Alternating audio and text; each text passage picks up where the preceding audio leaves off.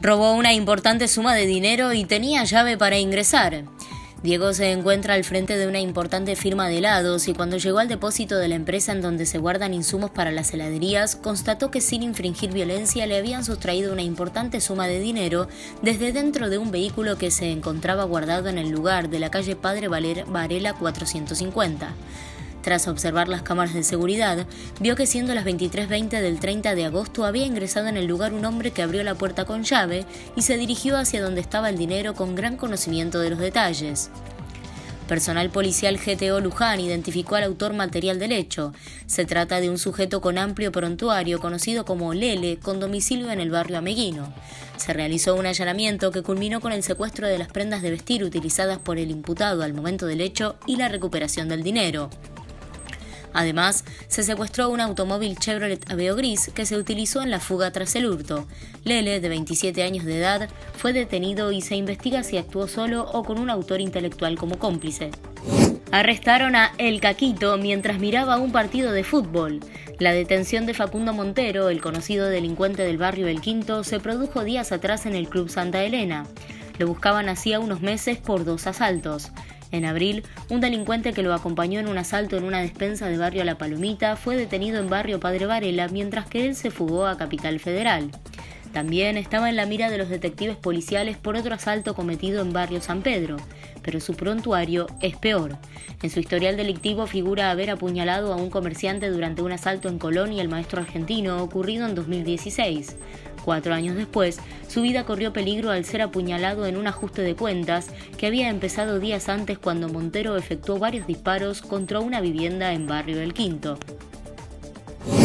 Suspensión de la peregrinación a caballo. No habrá predios para el acampe.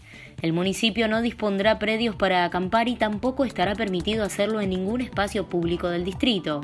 Además, se recuerda que no se permitirá la circulación por, tracción a sangre ni en animales montados y que, de acuerdo a la normativa vigente y según el caso, se labrarán multas y se procederá al secuestro de animales. Cabe señalar que la cancelación de la peregrinación a caballo tiene por objetivo resguardar la seguridad tanto de los peregrinos como de los vecinos y preservar el estado de salud de los animales que recorren largos trayectos en función de leyes provinciales, nacionales y locales que regulan esta situación y que en determinados casos establecen penas para las personas que maltratan o hacen víctimas de actos de crueldad a los animales.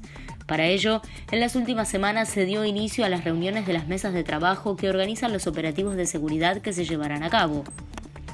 Plan integral para la producción y el trabajo, capacitaciones y charlas gratuitas en el mes de septiembre. Son organizadas por la Subsecretaría de Producción y Desarrollo Sustentable, de carácter libre y gratuito, tanto virtuales como presenciales, orientadas a la formación en diversas actividades y oficios. Cumpliendo los protocolos sanitarios correspondientes, la oferta de actividades incluye las siguientes capacitaciones presenciales. Instalaciones eléctricas domiciliarias, manipulación de alimentos, taller de siembra, semillas, almácigos y repique, elaboración de quesos, buenas prácticas agrícolas, impresión 3D, introducción a la robótica.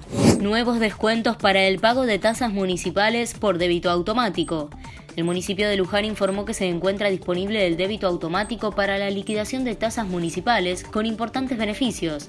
La iniciativa forma parte de las estrategias implementadas por la Secretaría de Economía y Finanzas con el objetivo de mejorar las condiciones y la efectividad en la gestión de cobranzas. A quienes se adhieran a esta forma de pago, se les realizará una bonificación del 15% en las tasas de inmuebles y del 10% en las tasas de seguridad e higiene de pequeños contribuyentes. Para acceder a estos beneficios, los interesados podrán concurrir a la Dirección de Ingresos Públicos, ubicada en el Palacio Municipal, de 7.15 a 15 horas, donde serán asesorados sobre las entidades bancarias disponibles y cómo acceder a otras alternativas, tales como la cuenta DNI. Por consultas, comunicarse a ingresospúblicos.lujan.gov.ar o mandar mensajes de WhatsApp a 2323 36 96 53 o 2323 44 83 47.